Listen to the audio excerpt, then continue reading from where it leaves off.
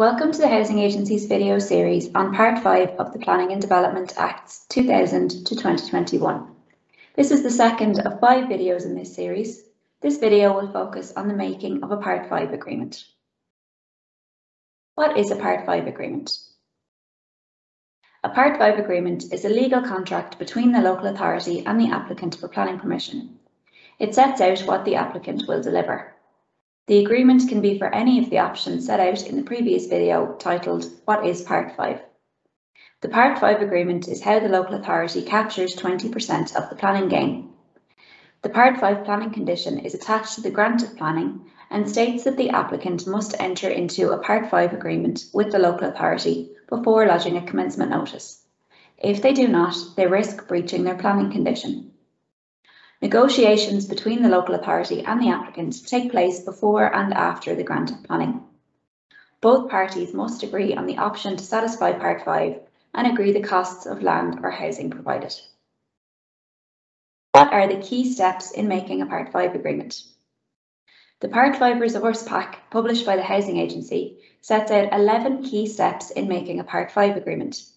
A link to access this document is provided in the video description. Steps 1 to 4 take place prior to the grant of planning permission. The first step is to determine whether Part 5 applies to a development. Further information about this is available in our What is Part 5 video. If Part 5 applies to the development, the applicant and the local authority undertake a pre-planning consultation, which will include discussions about Part 5. Both parties should aim to agree Part 5 in principle if possible. Details of this agreement in principle should be submitted with the planning application. Step 3 is the submission of the planning application by the applicant. The application must include details of how they propose to comply with Part 5. The planning authority then considers the planning application and makes a decision. If planning permission is granted, we proceed to step 5, where a Part 5 condition is granted to is attached to the grant planning. After planning is granted, both parties conclude negotiations on the Part 5 agreement. If agreement cannot be reached, dispute me resolution mechanisms are available. At step 7, the agreement is reached and then signed by both parties at step 8.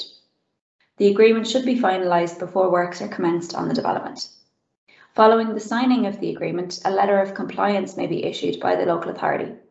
This is necessary to determine that the applicant is in compliance with their Part 5 planning condition. Construction commences and the final steps is contract and conveyancing. What information about Part 5 is required to be submitted with a planning application? Under Article 22 of the Planning and Development Regulations, an applicant for planning must submit a Part 5 proposal with their application. Circular Housing 36 2015 summarises the requirements for this proposal. The applicant must state which is their preferred option to satisfy Part 5, for example, the transfer of land or housing. They must submit details in relation to the housing units or land to be provided, depending on their chosen option. And they must provide details of the financial aspects of their proposal, including the estimated costs of any housing. What if the local authority and the developer can't agree on how to satisfy Part 5? If both parties cannot agree on how to satisfy Part 5, disputes can be referred to an arbitrator or to An Bord Pleanála. The property arbitrator determines the price payable for land, the number and price of houses to be transferred, the site cost of houses, and, in the case of legacy agreements for financial contributions in lieu of Part 5, which were made under previous legislation, the arbitrator can determine the payment to be made by the applicant. Alternatively, all disputes not covered by the property arbitrator are determined by An Bord Pleanála. For example, where the planning authority and the applicant do not agree on an option to satisfy Part 5. Hope you found this video useful. Here are links to the other four videos in this series.